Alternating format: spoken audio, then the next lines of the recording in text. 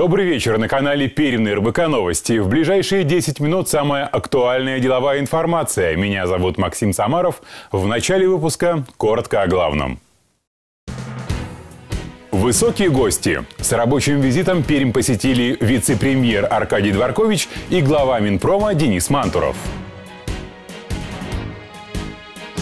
Бюджет, благоустройство, тарифы на проезд. В Краевом центре состоялось пленарное заседание городской думы. И региональные власти могут лишить права вводить дополнительные ограничения торговли алкогольными напитками.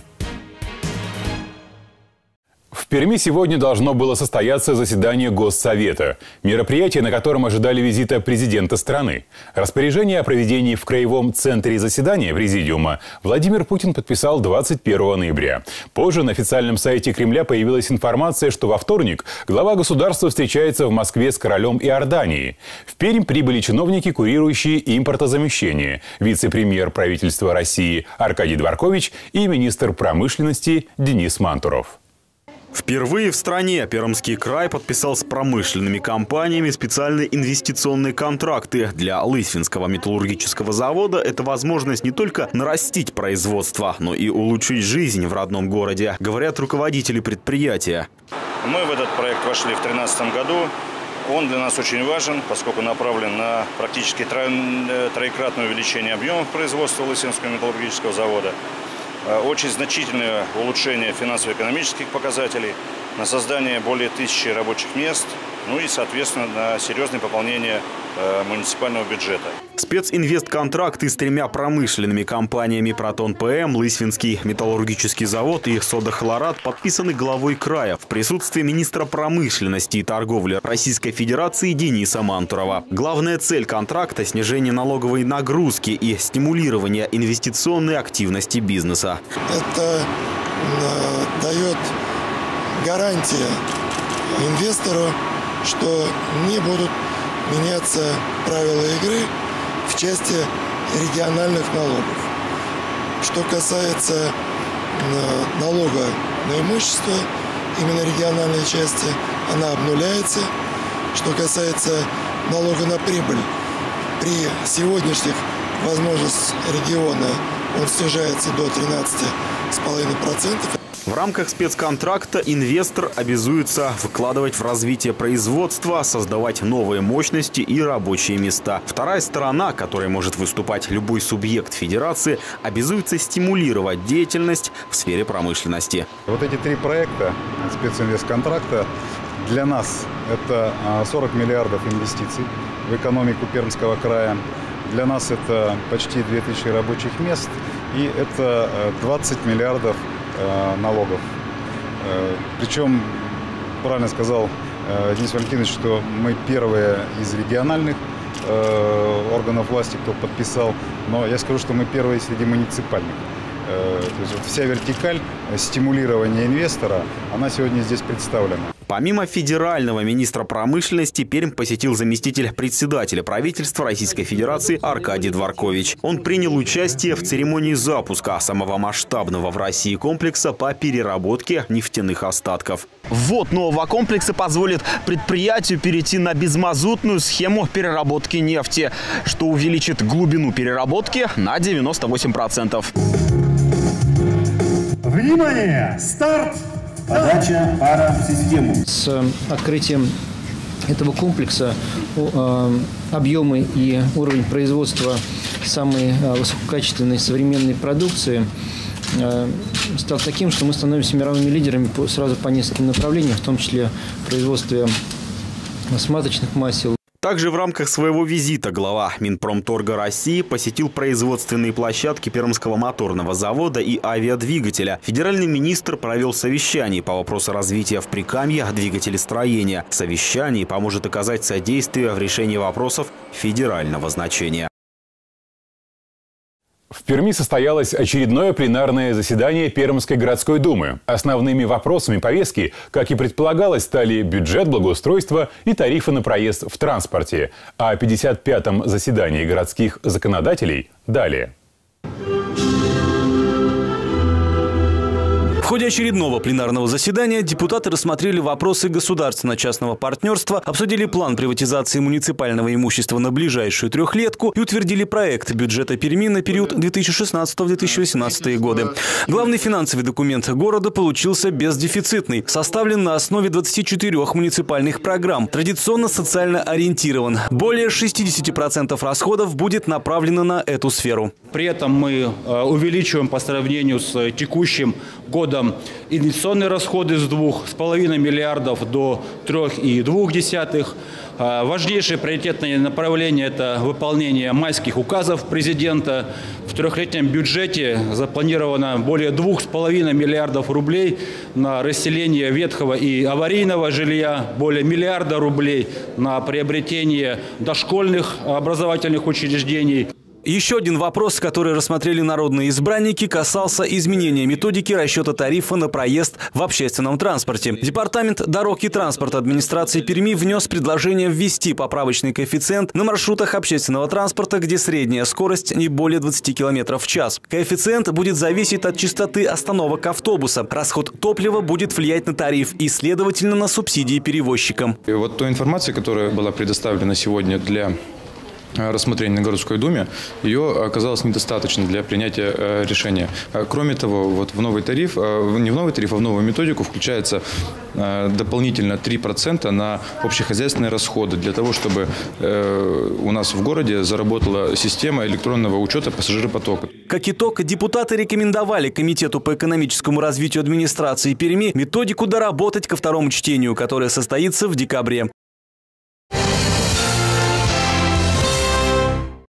Дождь и гололед в Перми принес жителям череду неожиданных и не очень приятных сюрпризов. Кроме массовых аварий на дорогах, увеличилось и число обратившихся в травмпункты. Резкое потепление в Перми началось с обильных снегопадов, перешедших в дождь. В результате на дорогах и тротуарах образовался гололед. Уже с самого утра многочисленные аварии парализовали дорожное движение. В непростых условиях оказались и пешеходы. Падение при таком ледяном покрытии тротуаров просто не избежать. По словам главного врача травмпункта Мотовилихинского района, количество посетителей по сравнению с выходными увеличилось в три раза. Изменилась структура повреждений и много больше стало повреждений тяжелых только вот стационар 4 горбольницы за вчерашний день мы направили 6 человек с переломами верхних и нижних конечностей тяжелых. И в структуре пациентов, которые оказывают помощь непосредственно в травмпункте, также значительно увеличится количество переломов. Переломов лучевых костей, переломов лодыжек, переломов ребер и травм головы. Как уберечься от падения в такую погоду, универсальных советов специалисты не берутся давать. Ведь падение происходит, как правило, неожиданно. Здесь помогут только собственные находки. Ну, одела обувь самую не скользкую и иду очень осторожно. А вчера студент помог, проводил. Шли с ним под ручку из корпуса в корпус. Довели друг друга. Осторожно иду по краешку. А там эти не очень помогают, профилактика. Надо раньше хоть посыпали песочком. Хожу как пингвинчик.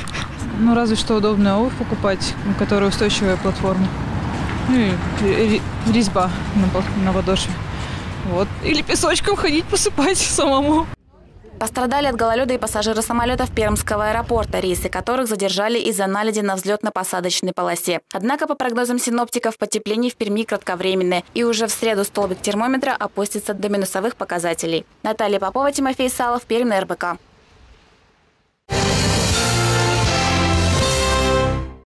Региональные власти могут лишить права вводить дополнительные ограничения торговли алкогольными напитками, вводить сухой закон, сокращать время продажи или запрещать продажу отдельных видов напитков. Такие предложения содержатся в докладе Федеральной антимонопольной службы.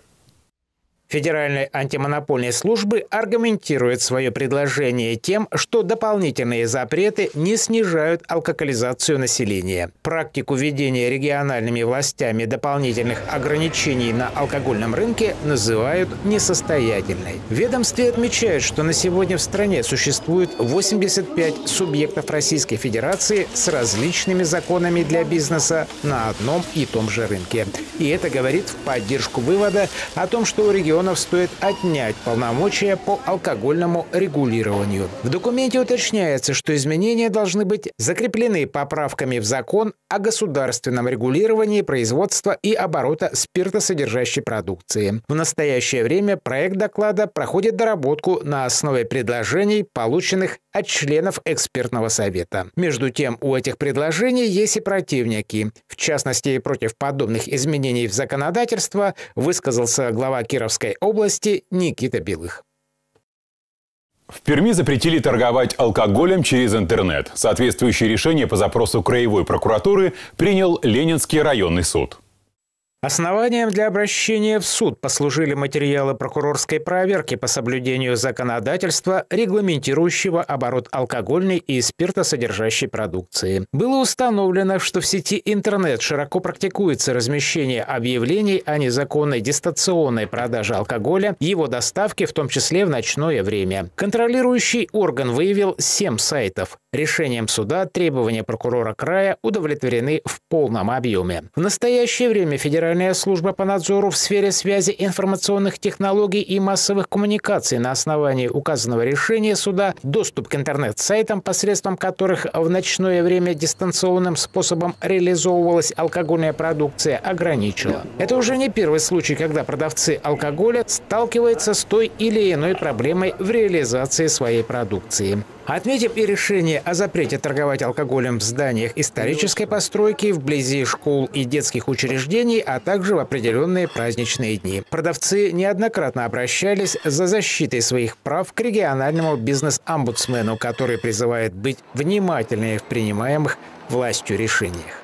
Деятельность предпринимателя, она зависит от правового регулирования. Зависит очень сильно. Зависит, есть бизнес, нет. Опять же, есть рабочие места, нет. И э, вот мне кажется, что э, здесь любые действия властей, они должны сначала быть просчитаны. Отметим также, что согласно недавнему рейтингу трезвости регионов России, наш край занял одно из неблагополучных мест. Прикамье стало 64-м субъектом Российской Федерации, пропустив вперед себя по различным показателям лишь районы Крайнего Севера, Сибири и Дальнего Востока. Андрей Вылежнев, Дмитрий Маклыгин, Пермь, РБК. Российские представители сильного пола сегодня не готовы уходить в декретный отпуск. К такому выводу пришли специалисты портала «Superjob». Такой низкий показатель обусловлен особенностями российского общества и экономической турбулентностью, считают эксперты. По данным портала, в последнее время декретный отпуск брало очень небольшое количество российских мужчин. В ходе исследования было опрошено 1600 человек из 271 населенного пункта. Из этого количества респондентов лишь 2% оказались представителями сильного пола, которые уходили в декрет. На вопрос, можете ли вы предположить ситуацию, когда отпуск по уходу за ребенком будет брать не ваша жена, а вы, из 600 респондентов только 12% мужчин дали ответ «скорее да, такое вполне возможно». 27% респондентов на этот вопрос ответили «конечно, да, если это будет необходимо». По мнению экспертов, традиционно мужчины в России зарабатывают больше, чем женщины, и получать выплаты по декрету невыгодно. Сегодня большинство мужчин плохо себя представляют нянькой. Такое положение вещей обусловлено экономической ситуацией, традициями и естественными причинами. К слову, на прошлой неделе основатель социальной сети Facebook Марк Цукерберг объявил, что намерен на время отойти от дел. Он объявил, что собирается взять отпуск по уходу за ребенком, который скоро должен появиться на свет. При этом он сослался на данные научных исследований, по которым решение работающих родителей посвятить время новорожденным детям благотворно влияет как на ребенка, так и на семью в целом. И это была вся информация выпуска. С вами был Максим Самаров. Оставайтесь на РБК. Всего вам доброго и до скорой встречи.